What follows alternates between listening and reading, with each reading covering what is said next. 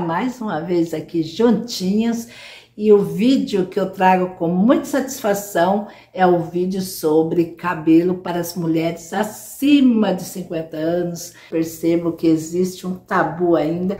Já ouvi de muitos cabeleireiros falar que quando a gente chega a certa idade tem que usar o cabelo mais curtinho. E eu fico ali na minha, ignoro, porque acho que não merece nem trocar ideias.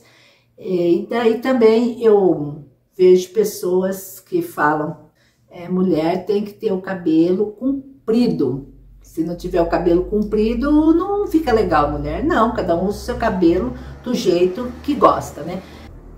Gosto, acho que fica bom para mim o cabelo longo. Não costumo, não me vejo de cabelo curto.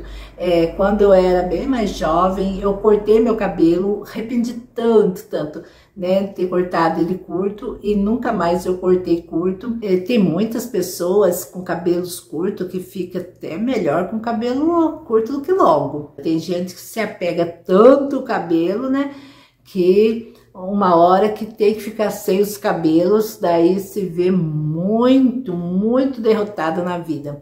Seguinte, cada um você tem o seu gosto, né?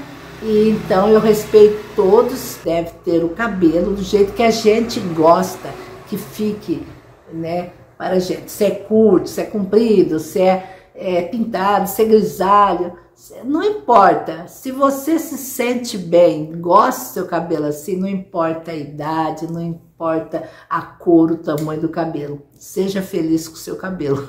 É isso aí. Espero que vocês tenham gostado do vídeo.